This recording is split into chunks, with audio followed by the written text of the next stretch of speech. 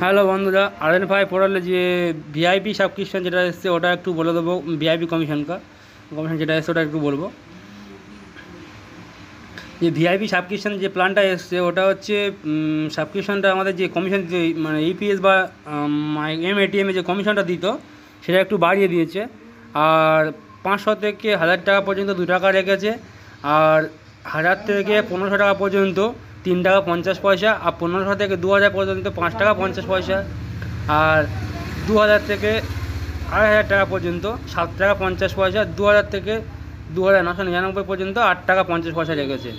আর তিন হাজারের পর থেকে, তিন হাজার টাকা থেকে তারপরে যতগুলো ট্রানজাকশান হবে দশ হাজার পর্যন্ত পার ট্রানজাকশানে আপনাকে বারো টাকা কমিশন দিচ্ছে, ঠিক আছে?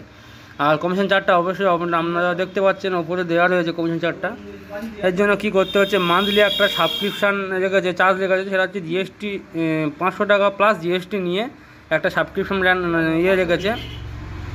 সাবস্ক্রিপশন একটা রেখেছে মানে অ্যামাউন্ট রেখেছে, পাঁচশো টাকা প্লাস সঙ্গে জিএসটি আচ্ছা এটা কী টার্মস অ্যান্ড কন্ডিশনটা কী রয়েছে? মোটামুটি আপনি এটা সাবস্ক্রিপশান করলেন, এটা তিরিশ দিন ভ্যালিডিটি থাকবে। যদি আজকের ডেট আজকে যদি বারো তারিখ থেকে আপনি সাবস্ক্রিপশান করেন পরে এই মাসে বারো তারিখ পর্যন্ত আপনার তিরিশ দিন হিসাবে ভ্যালিড থাকবে, ঠিক আছে? আর এটা আপনি একবার অ্যাক্টিভেশন করার পরে পরে অটোমেটিক আপনার রিনিউয়াল হিসাবে আপনার অ্যাকাউন্ট থেকে ব্যালেন্স কেটে নেওয়া হবে। যদি আপনি এটা রেনুয়াল করতে পরে এক মাস পরে এটা আবার অটোমেটিক আপনার জন্য অটোমেটিক রেনুয়াল হয়ে যাবে, আপনার অ্যাকাউন্ট থেকে টাকা কেটে নেবে। আর রিটেলার স্টপ ক্যান আপনি যদি চান আপনি যদি মনে করেন, বলছি আপনি যদি মনে করেন যে আপনার সাবস্ক্রিপশানটা বন্ধ করবেন আপনি সাবস্ক্রিপশান বন্ধ করতে পারবেন, ঠিক আছে?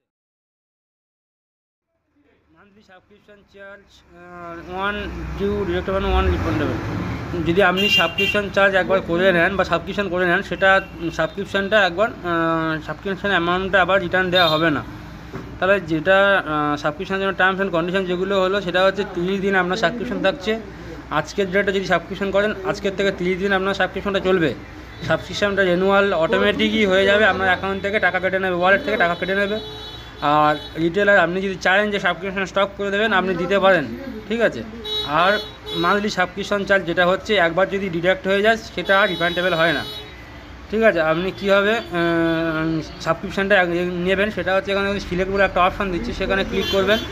ক্লিক করার পরে আপনি যেটা আছে সুপার পার্টনার ডিস্ট্রিবিউটার সেল কী করতে যাচ্ছেন, সেটা আপনি করে নিতে পারেন নিয়ে টার্মস অ্যান্ড কন্ডিশনে টিক চিহ্ন দিয়ে অ্যাক্টিভ করলে অটোমেটিক অ্যাক্টিভ হয়ে যাবে। তাহলে বন্ধুরা আজকে ভিডিওটা এই পর্যন্ত। পরবর্তী ভিডিওটা আবার আসবে। পরবর্তী ভিডিওর জন্য চ্যানেলটা সাবস্ক্রাইব এবং ভিডিওটা লাইক করে রাখবেন